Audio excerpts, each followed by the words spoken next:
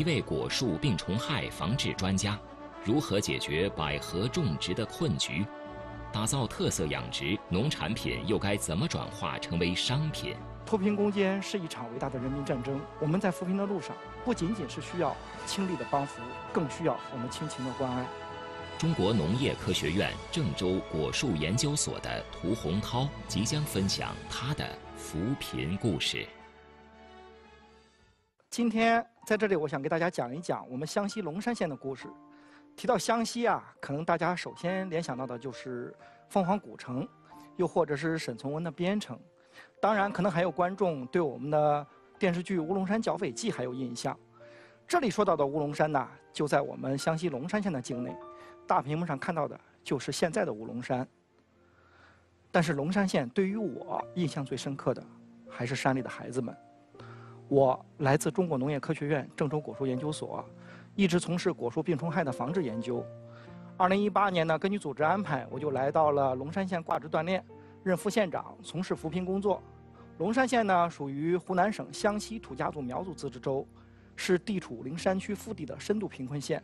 曾有研究机构啊，对我们湘西的贫困儿童进行调查，他就发现我们的贫困儿童的平均身高明显低于城里的同龄人。大家也都知道。这个小孩啊，在幼儿园时期的营养，对他们今后的生长发育是起着至关重要作用的。那针对这种情况呢，我们通过农业农村部的国际合作司，就争取到了世界粮食计划署的学龄前儿童营养餐项目落地到我们龙山。项目启动之初呢，我们去给幼儿园的孩子们去送餐，这个时候有一个细节，至今让我记忆犹新。那个送餐里面呀，包括有盒装的牛奶，就是那种很普通的拿吸管插进去就喝的那种盒装奶。送餐的时候，我突然一扭头，就看到有几个孩子呀，正在用嘴撕扯咬那个牛奶的盒子，那就是撕开了就喝。那喝的真是挤得满嘴啊、满脸，甚至满身都是。那一刻，我才意识到，原来真的有从来没有喝过，甚至于从来没有见过这样牛奶怎么喝的。当时有个小男孩吧，可能也就三岁多，跟我家的孩子大小差不多大。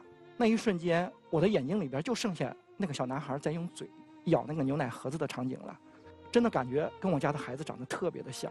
龙山县是农业农村部的定点扶贫县，我们把这些故事啊讲给我们部里的职工听，他们听到都很受触动。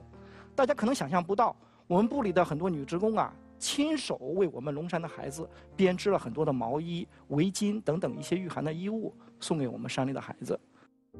当然，有些女职工可能年轻一些的不太会，她就是现学现用，哪怕就编织了很简单的围巾，都是亲手包装好送给他们。大屏幕上这些就是我们的孩子们穿上这些毛衣啊，自己用手机记录下来，发送给我们的。看到这些笑容，是不是感觉世界上最美？他们身上的这些。卡片呢，就是我们当时的职工啊亲手写的一些祝福。可能这些孩子们有些比较小，根本不知道上面写的什么意思，但是他们都不愿意撕下来，就那么穿在身上。脱贫攻坚是一场伟大的人民战争。我们在扶贫的路上，不仅仅是需要倾力的帮扶，更需要我们亲情的关爱。那么对于我来说，我来到龙山的任务是什么呢？作为中国农科院的科研人员。当然就是要通过科技去帮扶当地的农业产业升级，做好科技扶贫。来到龙山才知道，龙山也是需要一个农业科技的人过来帮扶。他们想他来，但是他们想来的是一个百合的专家。那是因为啊，我们龙山的第一大农业产业就是百合。大屏幕上看到的就是我们龙山的百合花是不是很漂亮？但是最主要的不是看到百合花了，重要的是吃百合的果儿，就是我们所说的百合的鳞茎部分。百合常见的吃法呀，有西芹百合呀、百合莲子粥啊等等。这里要说明一下，我们龙山百合跟我们北方的朋友常吃到的兰州的甜百合可能不太一样。我们的龙山百合呀，它属于卷丹百合，药食同源，它是可以入药的。吃起来稍微有一点发苦，但是它有很非常好的药用效果。具有滋阴润肺啊、清心安神等等的效果，可能长三角的朋友啊吃的更多一些，也了解的多一些。那也是因为我们的百合它本身就是从上世纪六十年代从江江苏宜兴引进到我们龙山种植的。当然在这里确实也表现了非常好的适应性，面积逐年扩大，现在已经有了十万亩的种植规模。我们龙山也是全国面积最大的百合种植县。听我说了这么多，感觉都非常好，但是出问题了。近几年呢，我们发现了龙山的百合个头越来越小，病虫害就越来越多。距离收获还有一两个月的时候啊，植株大家看一下就开始慢慢枯死，有的就枯的什么都没有了，上面枯死了，那下面肯定就不长了嘛。那原来能够长到七八两的这么一个百合果，那现在三四两，你迫不得已就收获了。那这样的情况下，那整个的品质啊、产量啊、收益啊等等都受到了很大的影响。那在这种情况下呢，那龙山肯定还是想要有百合的专家过来，来确定原因，去做一个解决。那么最后是我来了，那么县里边可能还是有一些失望。那毕竟你不是搞百合的嘛，你来了能有？干什么事儿能帮什么忙呢？那既然我来了，那我就要想办法去解决这个问题。首先就是实地去调研，就是确定到底问题出在哪儿。那我去跟当地的种植大户、跟当地的农技人员进行交交流沟通，实际的去考察、去调查。那么最终我们还是一起确定了原因所在。首先就是这个自留种的问题。龙山百合啊，从上世纪六十年代引进过来之后，就一直就是这么掰开了。就种下去，自己留种，一直还是第一代的种球，几十年的积累啊，那里面的病菌啊、病毒啊，已经达到了非常高的这样一个水平，并不是说这个病毒对我们人体有什么危害，它只是普通的植物病毒，但是到第二年的时候，气候适宜，它就开始发病枯死。另外呢，百合和很多作物一样，它是需要轮作的，连续种植的话，土壤里面的一些微生物，还有一些营养。它可能就会有一些变化，影响第二年的生长。那么最好的就是跟水稻进行轮作，但是呢，百合的效益好嘛？那作为老百姓来说，肯定是想连年的种植百合，才能取得最好的收益。那老百姓为了这个，他也自己也是想了很多的办法，比如说拿到高山新土地上去育种，再拿回来种，让种球长得好一些。但是过几年呢，又出问题，因为嘛。种子的问题、土壤的问题，还是没有从根本上进行解决。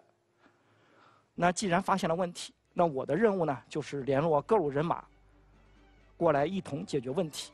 首先呢，我们就通过院里联系到了蔬菜花卉所的专门搞百合的团队，那么牵头成立了百合的两种繁育服务团队，开始打造我们的龙山百合两种繁繁育基地。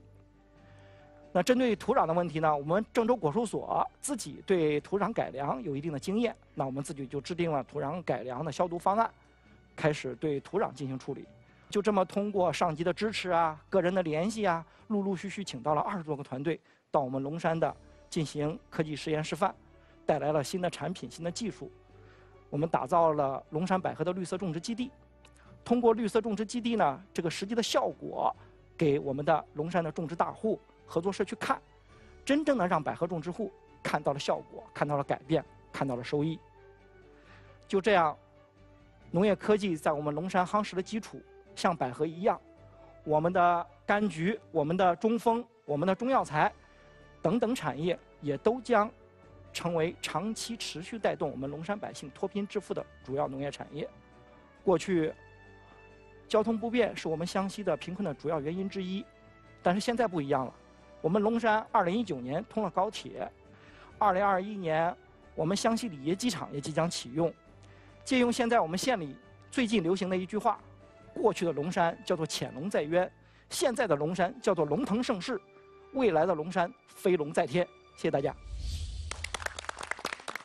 好，谢谢涂老师跟我们分享您的这个扶贫故事哈。今天我们的演播室呢，依然是有三位提问团的成员，分别是海归返乡创业者汪星宇，以及我们农业大学的博士吴一凡，欢迎一凡，还有我们的创业青年牛月。那坐在前排的两位新朋友啊，分别是来自龙山县的两位农业合作社的负责人于小龙以及黄明才，欢迎。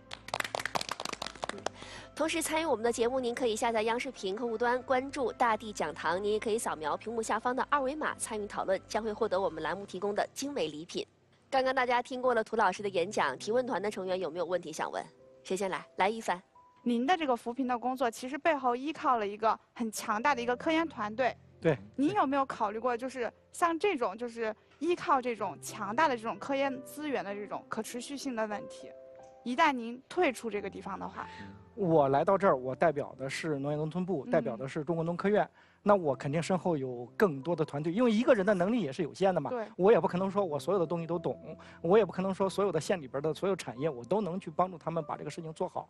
但是我们打造了一个所谓的技术平台，我们就把自己利用我现有的这个人脉资源，还有上级的一些支持啊，就把这些人聚集到我们这个地方来进行做实验示范。并不是说我走了，然后人就以后他们也不来了，而是说这个产业让专家和产业做了一个实质性的对接，而专家其实 他们也是需要有这样一片土地去把他们的成果去落地、去生根，然后才做宣传出去。专家也有这样的需求，那我们我的作用就是让他做一个有效的对接。说到这个实验示范啊，最重要的一件事你知道什么吗？就是算账。这个账必须算得特别明确。其实前几天我采访的时候就遇到一件很尴尬的事情。当时呢是有也是有科技扶贫的人员下乡去在海南推广这个电动的割橡胶的机器。然后这一台机器呢大概要卖一千三百八十块钱。然后我们就进行一个实验。你们不说这个机器很好用吗？好，那我们跟当地的割胶能手一起比一比。结果发现速度差不多。这就尴尬了。那就问老乡，这种情况下你愿意买吗？老乡说一千三百八，我不买。我们家就一千三百八，我怎么都能割出来，我自己多干一个小时就出来了。所以这个账啊，不但要算到具体的这个收益上，更要算到人头上。就是说，这个技术新的技术有很多，但是这个技术当然猛的一看可能是感觉前进了一步，但是真正拿到生产当中，它。为什么老百姓有的接受，有的不接受呢？就是它的实用性，它到底能给老百姓带来多少收益？这个账，老百姓其实心里都有一杆秤。你让我挣了钱了，行；要不是节省成本了，行；要不节省人力了，行。所以说，我就说嘛，要把这个技术、这个产品，真的要在当地去实验示范，真的让老百姓看到效果、看到收益了，那你很容易，你不用去催着他，他主动的就找找你学了。我相信啊，咱们科技。最快的一个推广方案是抓大户，是吧？抓合作社。但是我更关心的是，那些小农户怎么办？这个是我想听到的。一般情况下，我们来说，种植大户和合作社更容易接受新的技术、新的产品，他们更容易跟着去干。那么老百姓其实像我们的所今天刚才我讲的百合的这些新的技术来说，老百姓他其实可以从里面受益的，因为品种他也可以买到。他可以去买到新的品种，这个不是说我们这是保密的，必须要几个合作社才有。技术、消毒的土壤的处理技术，这些都是我们科研人员的无偿的要交给大家去做的。只是说前期的投入成本上可能稍微有一些，就是说为什么老百姓可能前期不接受呢？就是可能前期投入的成本要增加，那我们就要有个别合作社来带动他们，让他们真的看到了后边的收益。这些老百姓他跟合作社是一样的，只是说他可能在。接受的程度和接受的速度上可能稍微慢一些，但是他们都会从我们的科技上取得收益。我们前排的这位小龙，非常有范儿的留的胡子的这一位哈，是农业合作社的负责人，对不对？对。您给我们介绍一下您取得了什么样的成果吧？呃，先介绍我之前，我们先我自己拍了一个片子，我们先看一看，让大家对我们一个更深的了解。好的。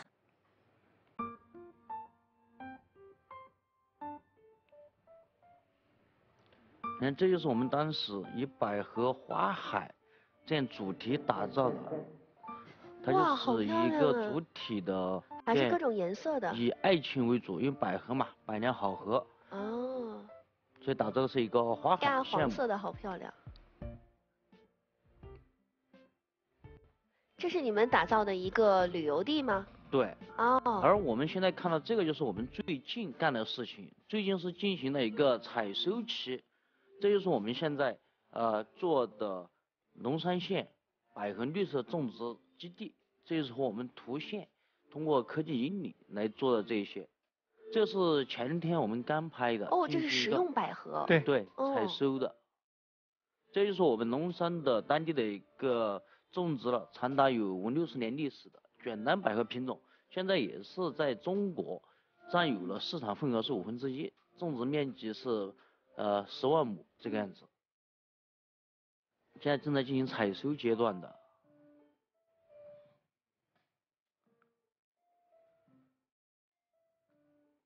而现在这个是我们做的一个农机，我们现在科技扶贫它不光光是从我们的一个种植业，它更多的是从我们的土壤种子管理，最后再到它的采收是一体化，来给它作为一个机械的擂台这样子。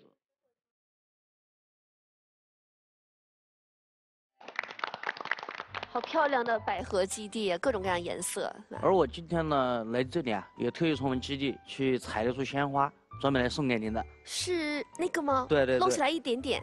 对。这是真花呀。对真花。哇好漂亮啊。对这是我们从基地昨天亲自采的谢谢谢谢这是我们自己培育的一个品种这品种叫皇冠皇冠。对。有淡淡的香味儿对没有那么香。对，这是它的一个特殊的一个新品。你要不要？一凡，给一凡留一只，给一凡留一只。谢谢。一凡投来了羡慕的目光。谢谢。这个百合也是可以产出食用百合的吗？对。这个贫困户还有没有？有。他们的收入大概在多少呢？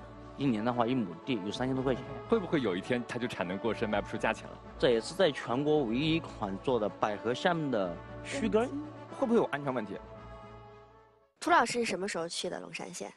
我是二零一八年的五月。八年。对。那个时候知道他们当地种百合吗？就是来之前吧，听别人说过，也查了一些资料。一查资料就说有十万亩这样的一个规模，那我去了就找百合花看嘛。嗯。那如果有十万亩的百合花，那看着多壮观啊！是啊，震撼到您了吗？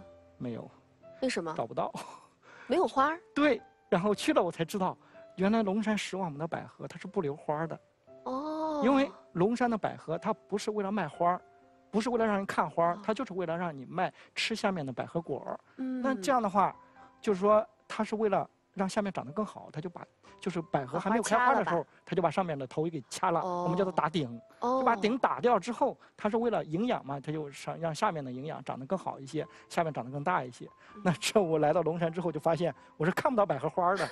那我后来打听一下，看龙山百合花，看到百合花只有一个地方，那就是小龙打造了一个叫做“众里寻花”的一个基地。小龙当地的农人种这百合花，收入大概在多少？我们一亩地啊，现在种植是八千株，那么我们批发出去的话，最低的都是三块钱一株嘛。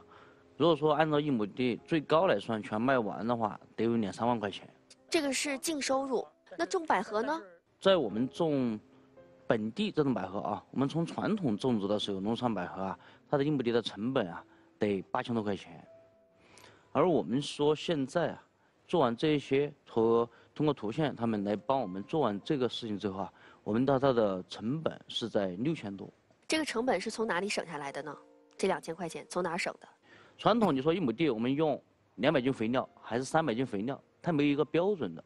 那么通过我们的。呃，科技来分析，我们因地制宜，我们会测这块地种百合的土壤。假如说我现在缺钾肥，我只要五十斤，那我就没必要两百斤了。我们通过就是呃科技助力这一块，把百合生长季节每个节点卡得很准，就不会浪费我们的人工。从那两点就直接可以为我们节约一千多块钱。那现在我们关心的是当地的这个贫困户还有没有？嗯，有。嗯，他们的收入大概在多少呢？我们和当地贫困户的话，现在地联机制有两种，就是没有这一块的行动能力或者是务工能力的。嗯。那么我们采取第一个模式，就是他把土地来租给我，我们的租金是五百块钱一亩，然后再就是给他一个每亩地以一个最低的一个保底分红，百分之八的分红。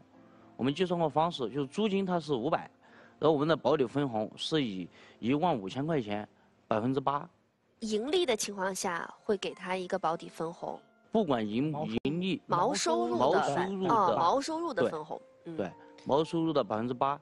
他如果说去出去打工，或者是没有劳动力的，那我们他这一亩地一年，那就是一千七百块钱。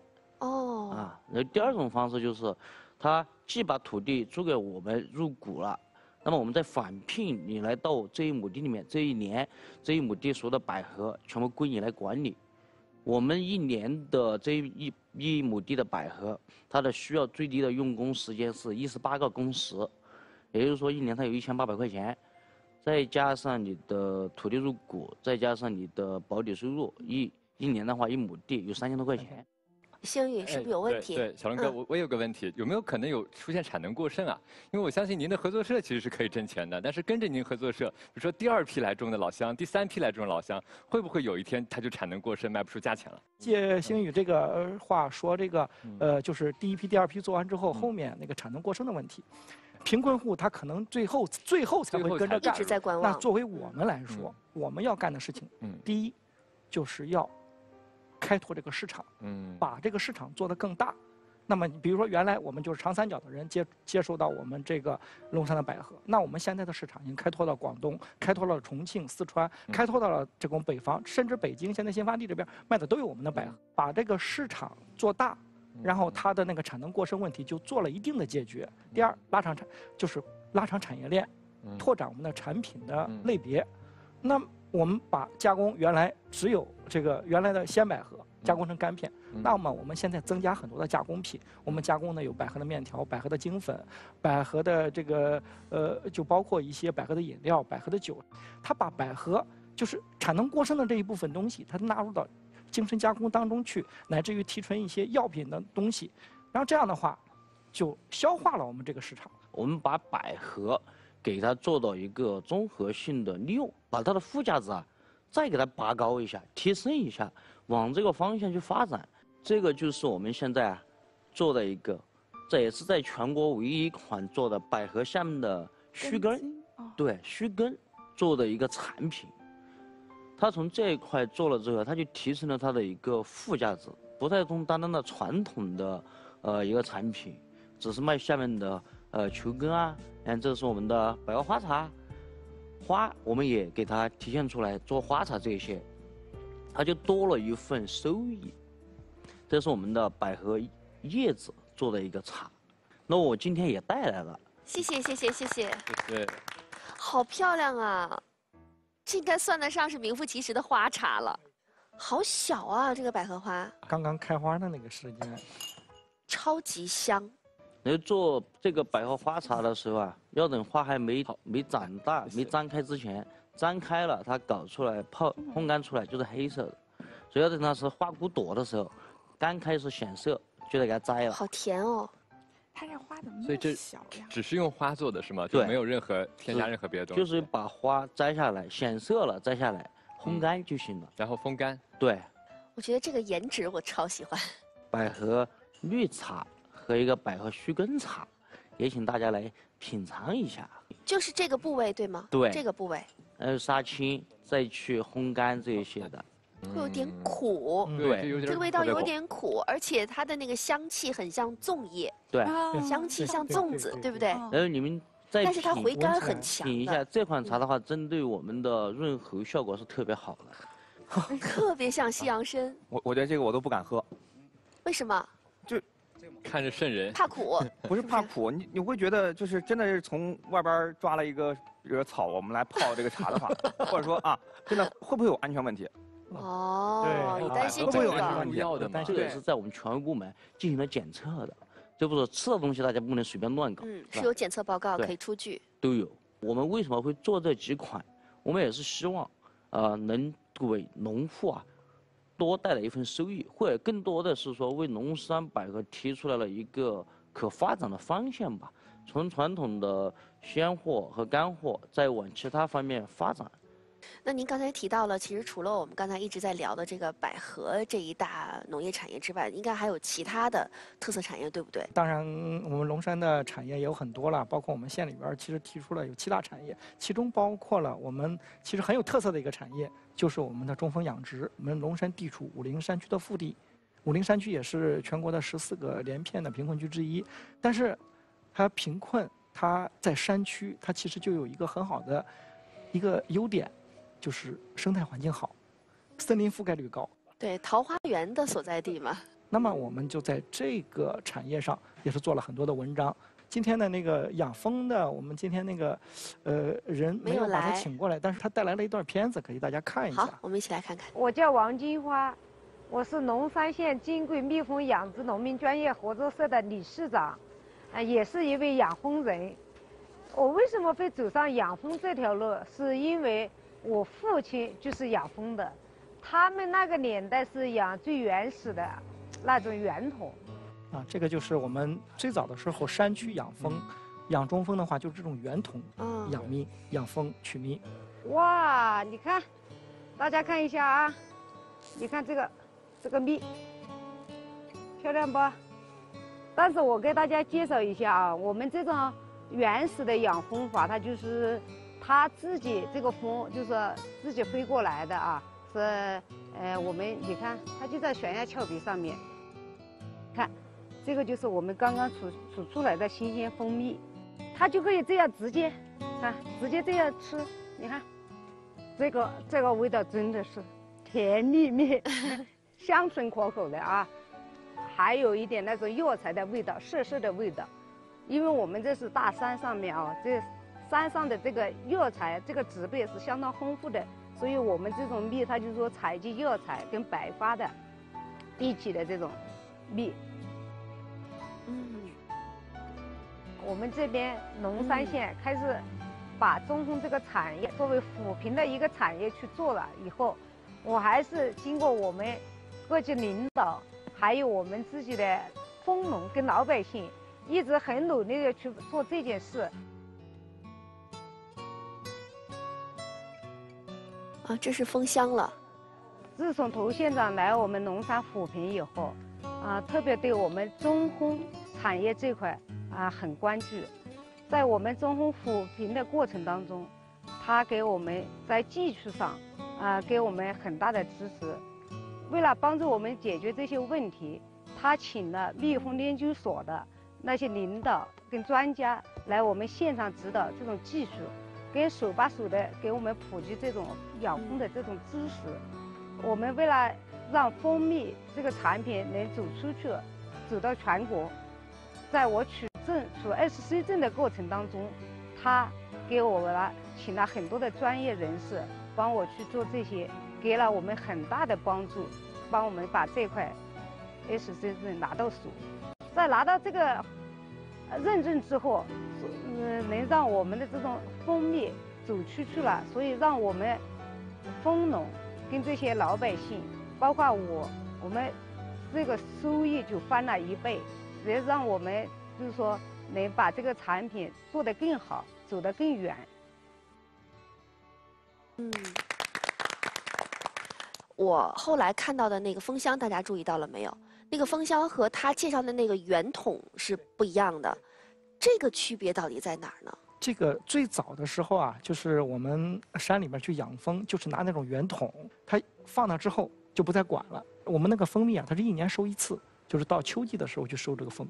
你真正去打开的时候，有可能会有很多的蜜，但是还有一个可能里面是空的，因为那个蜂就没有在里面安家，这个是风险所在。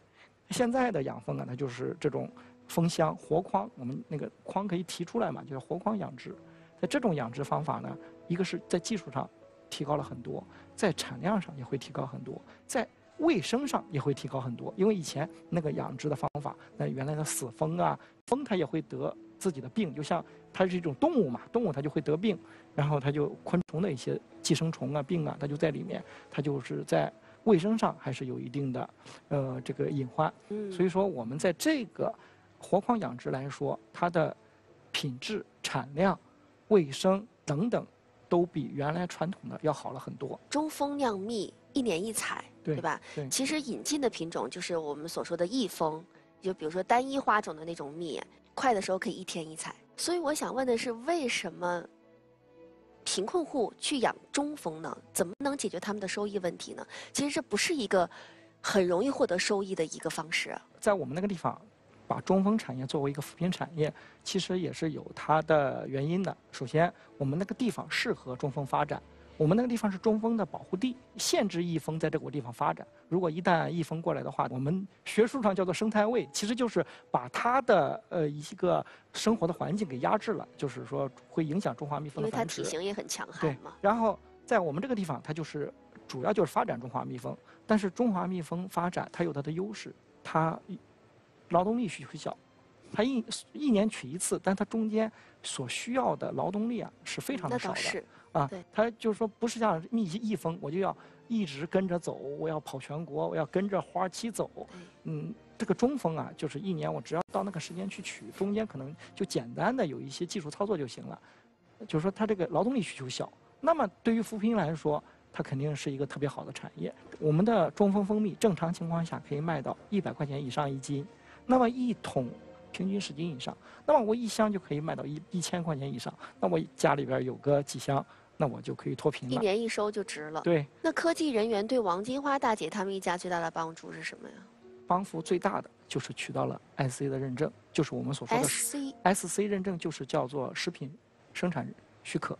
它就把我们原来的叫做农产品，现在变成了真正的食品商品，它可以进超市，它可以进电商平台，然后作为商品去出售，就很大的拓展了它的销售的渠道、销售的空间。刚才他也说了嘛，有了这个之后，它的整个的收益基本上将近翻了一番。是的，是的有这个 SC 认证，这个农产品起码不是三无产品了。对，来，一凡有什么问题？嗯，您提到这个 SC 认证，我就有一个特别想要分享的一个经历，因为我之前呢，我们也是在村里面做一些扶贫的事情，然后我爸呢，他就特别的喜欢，就是让我去打听当地有什么就是这种农产品这种特产，他就强调说，我一定不要那种包装好的，放到那种超市去卖的，啊你一定最好是从农户家里就是刚刚摘的那种茶叶，刚刚烤干完的那种。然后后来我又有一个朋友，他就说，他说你们卖的那个蜂蜜啊，我怎么就觉得跟那种微信上面就是随随便便一发说我家有什么什么的那种，就是三无产品一样。说我对吃的就是喝进口啊，吃进去的东西，我就从来不敢买这种没有商标，就是农民自己的这种土特产。嗯，有些人他其实真的是感觉到好像是越土的东西，对，感觉好像是越原生真态一样。越好越原生态。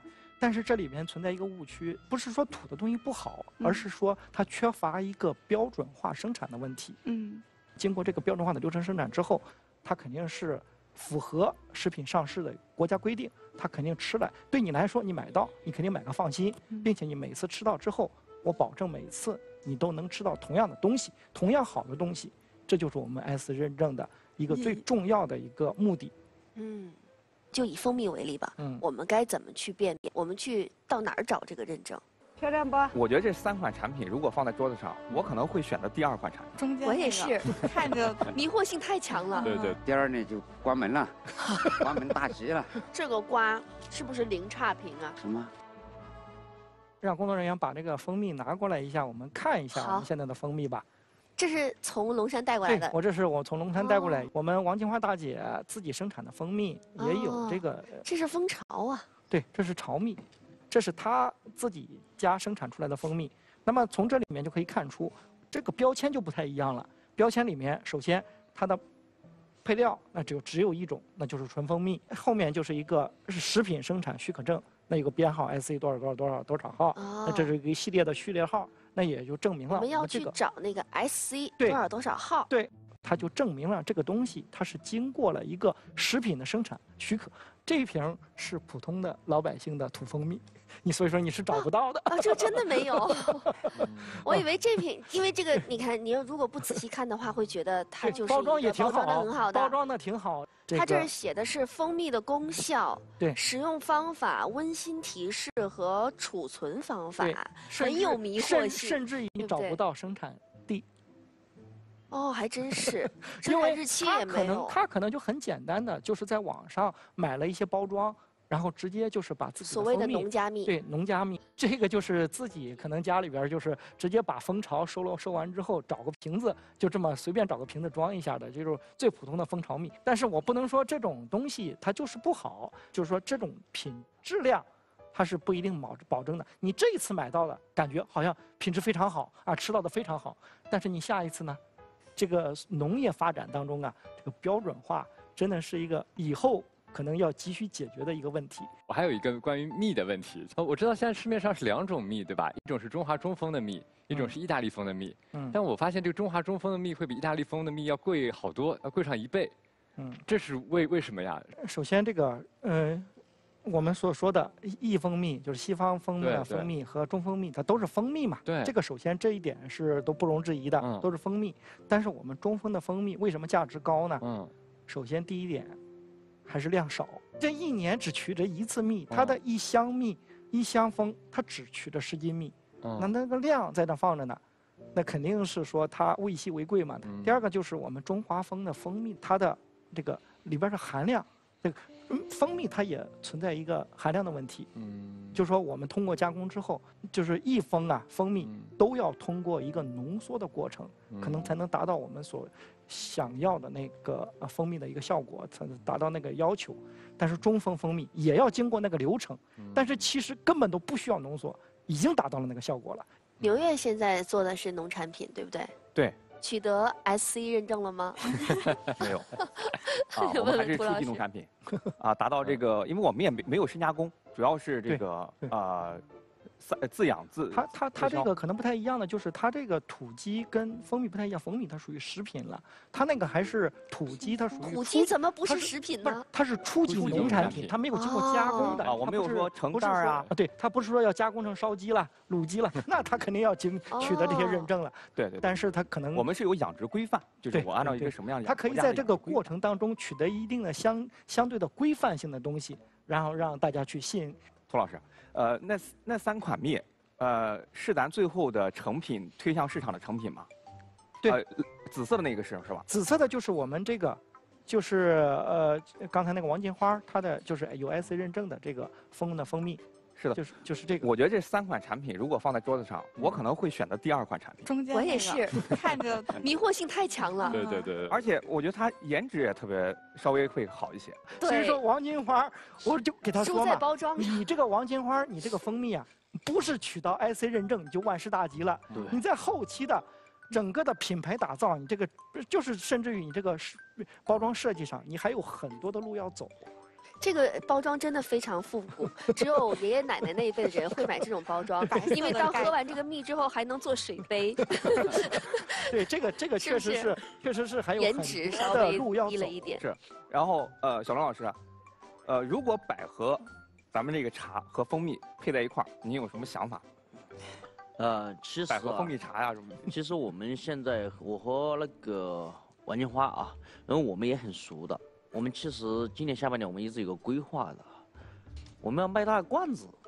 啊我们把百合做一个百合的罐子啊，里面放蜂蜜合。罐子，对，百合造型嘛，它下面裹嘛。百合造型的这个包装，哦对哦，百合造型的包装，这个是我们下面的我们和它合作的一个发展。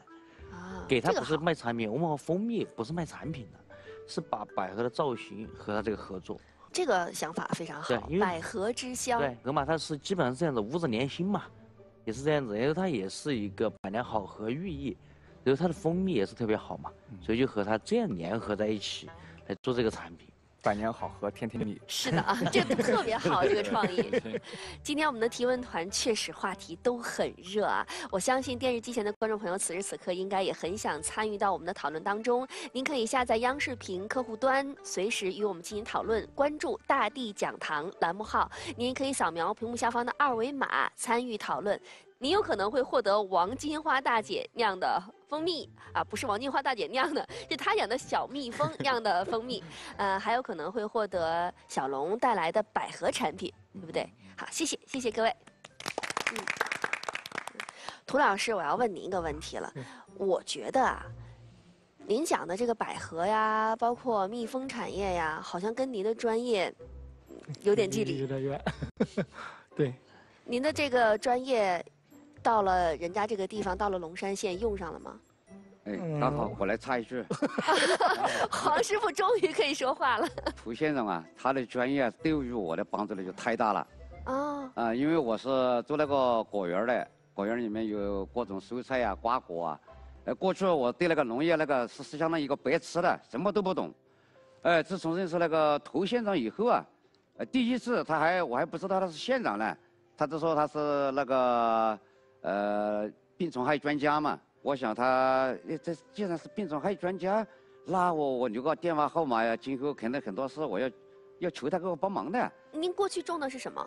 我过去呃我做的是那个花海，在我们那个邻近的县，呃，也是一个风景风风景旅游区，啊，应该大家都知道那个凤凰县啊，在我们这个全国也比较是有有名的一个县城嘛。凤凰县。啊，有一次我去那里，我带我的朋友去那边看那个花海，呃，喂，这个花海这个可以啊，这个好像来钱快啊，因为我对比对那个农业是不怎么懂，我说这这个看的看的太简单了嘛，就搞了这么一个花海，但是后面失败了。他这个我插一句啊，嗯，刚开始房房房大哥做这个花海的时候啊，当时真的是在我们县里面做的特别轰动的。当时你看去他的地方，公交车要为之改道，都要绕路去他的花海，甚至还要为他这个景区临时增加班次。收入是靠什么？啊，我们是以那个门票啊，一个人二十块。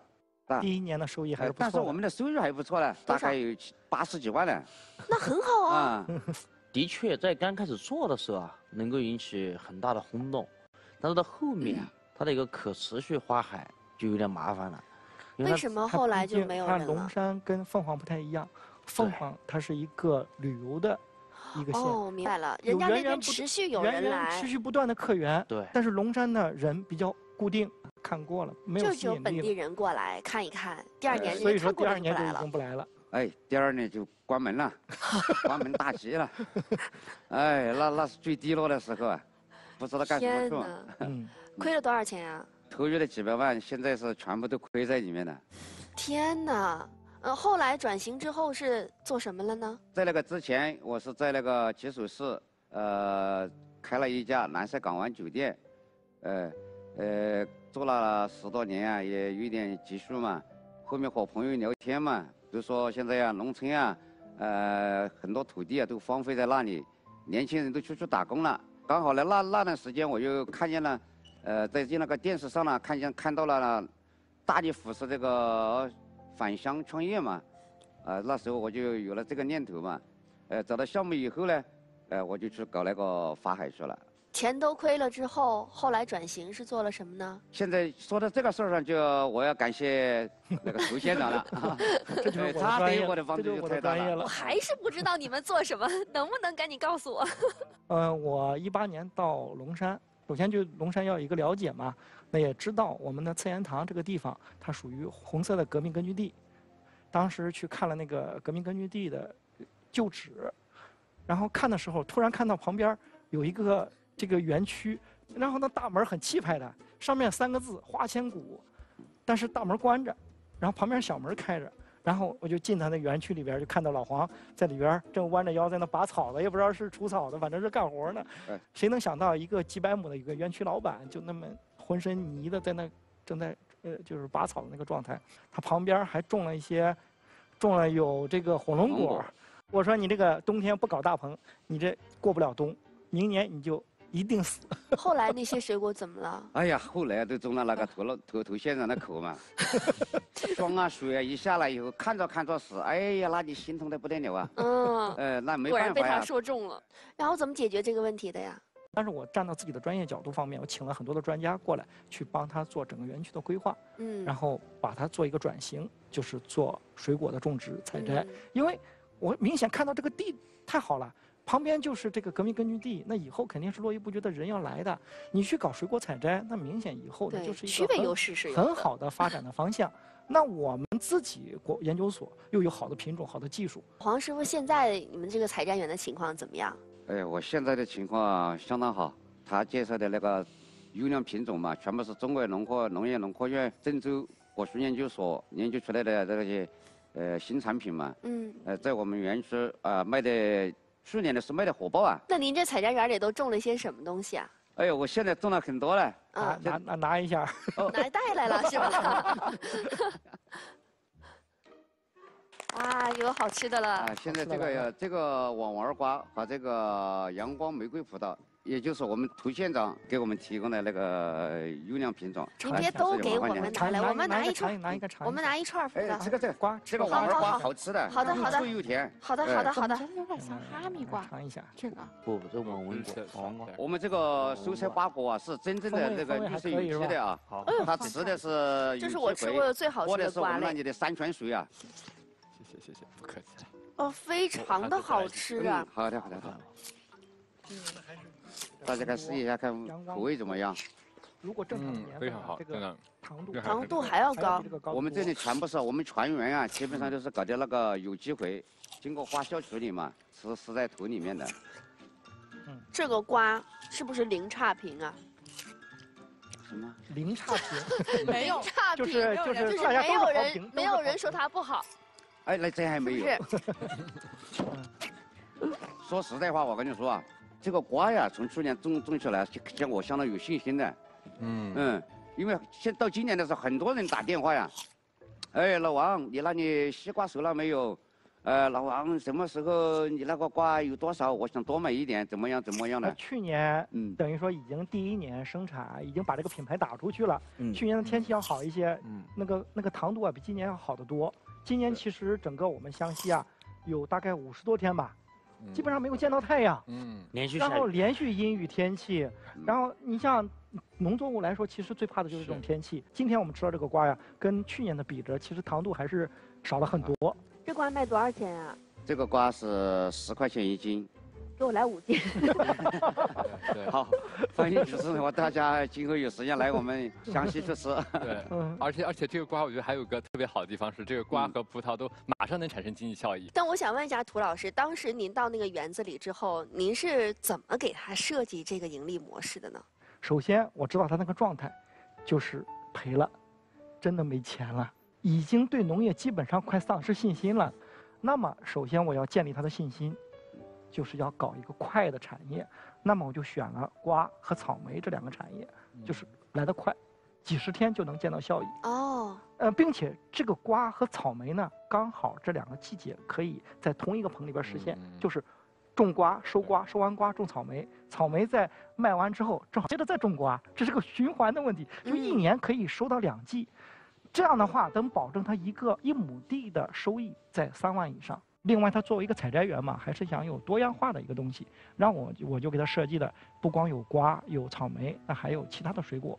那设计了多种水果，包括了种植软籽石榴啊，包括种植葡萄，还有呃这个啊桃子啊、李子啊等等。南美啊然后，但是那些就是这个设计的就是长有长有短，就短期见到效益，培养他的信心；长期的就种上这一种水果之后，它你看树嘛，它就会一次种植，常年收益，让嗯它既有短期的效益，又能够长期的稳定的有收益。嗯，那您现在相信科技的力量吗？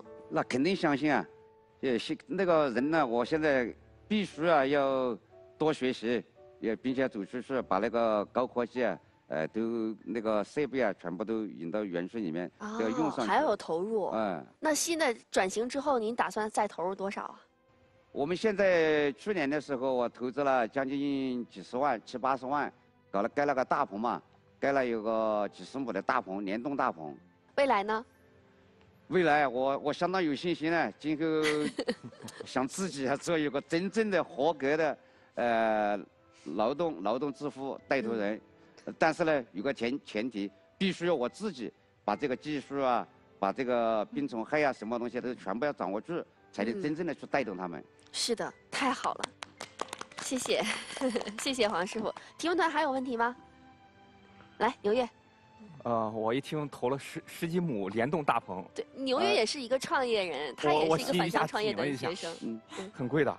对对。您不是之前失败了吗？这看样还是家里人比较丰厚。这钱您从哪来的？